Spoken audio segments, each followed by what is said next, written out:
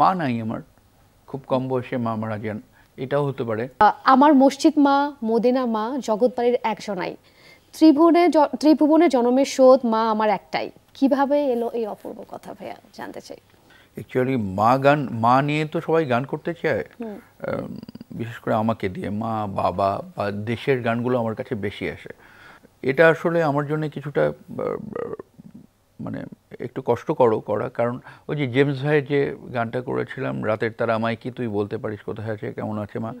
ওই গানটা আসলে এমনভাবে মানুষের মনের ভেতরে জায়গা করে নিয়েছে যে এরপরে মা গান করতে গেলে আসলে ভাবতেই হয়।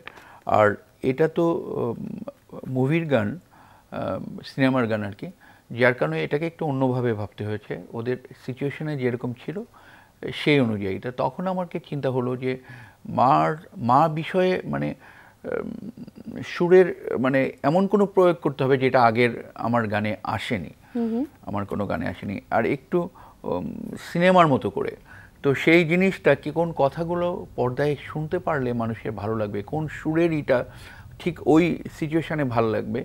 এটাই চিন্তা করেছি তারপরে করেছি। ভাইয়া আপনার মা গানগুলো কিন্তু বেশ দর্শকপ্রিয়তা পেয়েছে এবং দর্শক মহলে খুবই আলোড়িত করেছে সবাইকে অনেক টাচ করেছে। তো আপনার মা গানগুলো আসলে ভাইয়া এত জনপ্রিয় হওয়ার কারণ কি? মা নাই আমার খুব কম বয়সে মা মারা যান এটাও হতে পারে।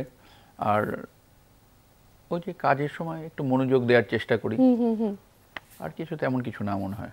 ভাইয়া এই গানটি সৃষ্টির পেছনে কি আপনার মায়ের গন্ধ মাখানো মাকে কি খুঁজে পেয়েছেন? অবশ্যই আছে। হুম। ও সবাই পাবে শুধু আমি না। যে শুনবে সে পাবে যে যার মা বেঁচে আছে সেও পাবে যার মা নাই সেও পাবে। ভাইয়া জেমসের মা গানটি আমরা শুনেছি এবং রাজকুমারের মা। দুটি আপনার লেখা গান তো আসলে কোন মা গানটি আপনাকে আসলে বেশি আলোড়ন করে আলোড়িত করে? লেখা সুর সবই আমার। উম, জেমস ভাইয়ের গানটা এমন জায়গায় চলে গেছে এমন জায়গায় যে এই, এইটার সাথে কোনো গানের তুলনা আসলে করা যাবে না। শুধু বাংলাদেশে না, বাংলাদেশের বাইরেও। যেমন যখন ইন্ডিয়াতে গান করতে গেছে, দেখবেন আজ থেকে আরও পঁচিশ বছর আগের কথা, চব্বিশ পঁচিশ বছর আগের কথা। সব স্টেডিয়ামে মা মা করে ইন্ডিয়াতেও সবাই এই করছে, যে শুনতে চাইছে। বা ওই গানটা যে মা যখন গাইছে তখন স্টেডিয়ামে সবাই বা ওই একটা কনসার্টে সবাই মিলে গাইছে।